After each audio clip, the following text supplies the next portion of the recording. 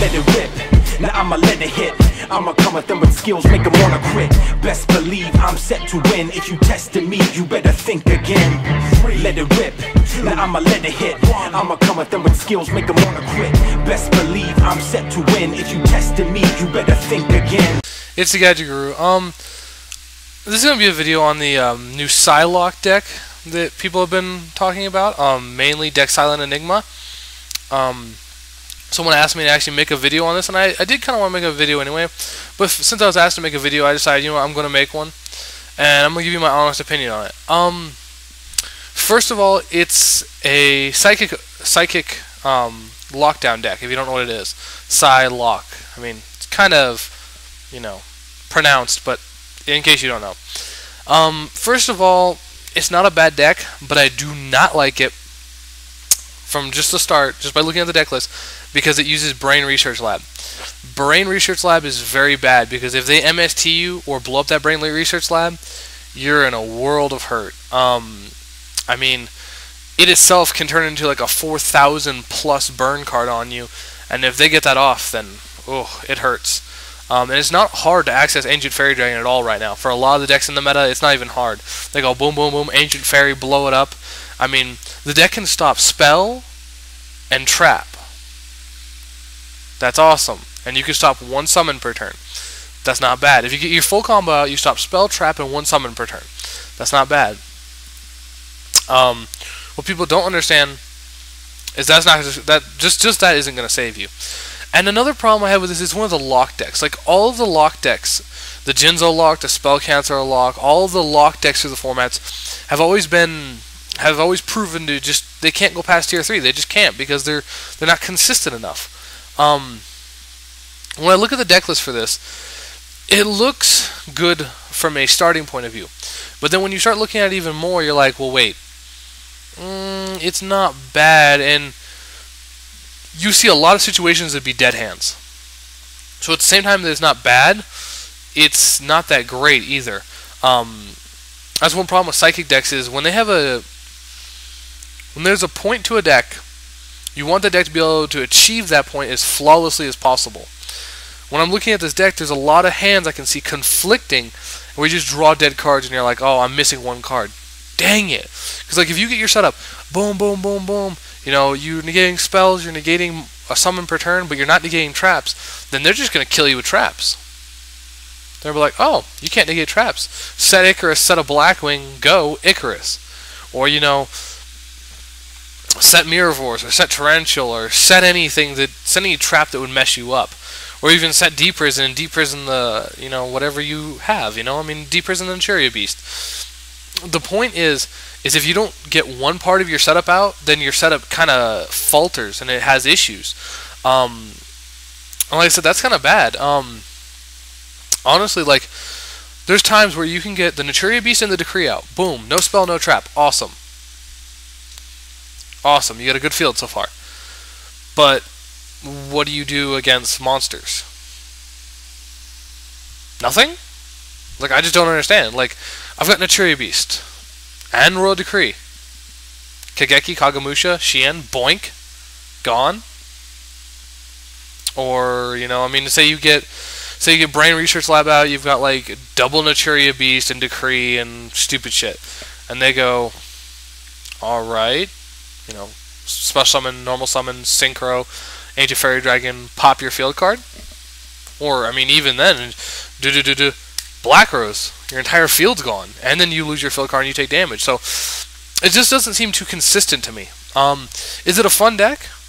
Yeah, it's a fun deck. I think it be, could, could be pretty fun to look at. Um, and even if you look in, in if you look at um, Deck Silent Enigma's um, blog on it, I guess you could say, even in there, he says uh, he came up with a decent deck list um, that's rather enjoyable. So it, just by saying decent, I mean you're already saying this is not a tier one deck. It's just not tier one.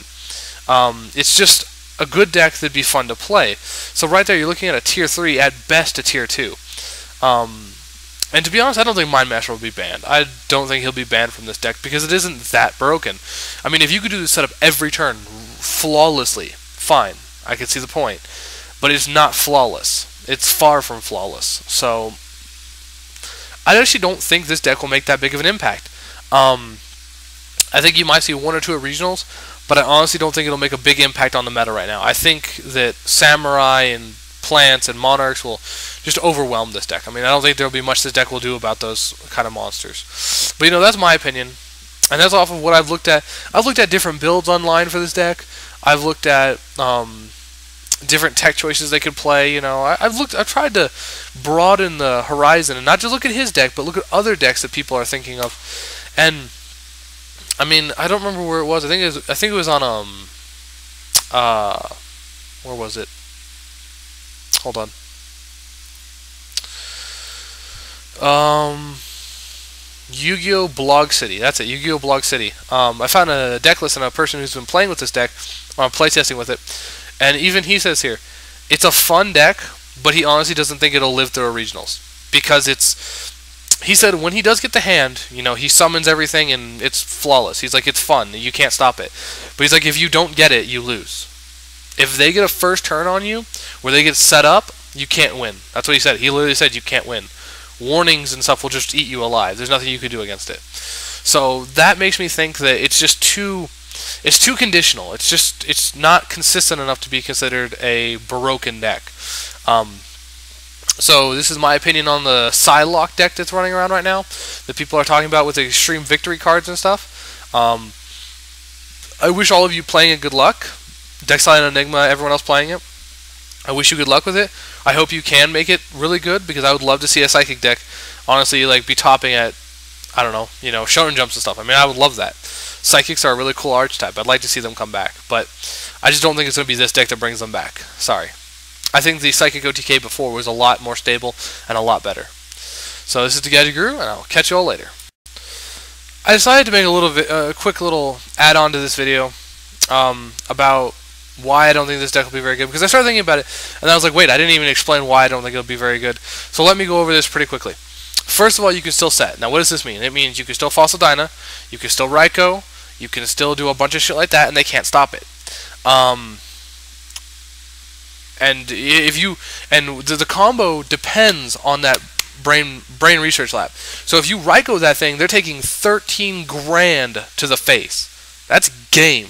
That is game beyond belief. And if you fossil that now, they lose their entire field. Gone, except for the decree. But they lose their entire field. Now that's just to start off. Another reason is effect Veiler. They go summon. Activate Mind Master's effect. Tribute. You go Veiler. They go son of a. That's it. That's game, because as soon as you kill that Mind Master, they can't do their combo. So Veiler just boom, drop the Veiler. Out of there. Game over. Forget it. With the new fairies coming out, Herald Orange Light is going to be used a lot. So you're going to go summon Mind Master, distribute, effect, Herald of Orange Light, gone. What are you going to do? There's nothing to stop it. Uh, you mean I guess you could tech my bodies or something, but other than that, there's nothing to stop it. Um, or even like if they go first, what is the number one card you run into in today's meta? Every single time you try and play. Solemn Warning. Summon Mind Master. Solemn Warning. Good game? That's all I'm saying. Like I can see so many outs in which this deck would be good, but the minute they have one of those cards, you're like, no. you know, I mean, it's just like infinite rage. So, you know, I just wanted to add a short little explanation on. There's so many ways to get out of this lock that it's not actually a lock. Uh, in my opinion, a lock is spells, traps, and monster effects gone. All, if you get rid of all three of those, then you win. I guarantee it. The problem is this deck doesn't do that. It goes spells, traps, and normal and like summons. You can still set and get past this deck. That's the thing. That's what's going to kill this deck, in my opinion. That's what's going to kill it. So, and then of course Veiler, Herald of Orange Light, all kinds of stuff like that. So I just want to add that in. So I'll let you I'll let you guys go now for real. See you later.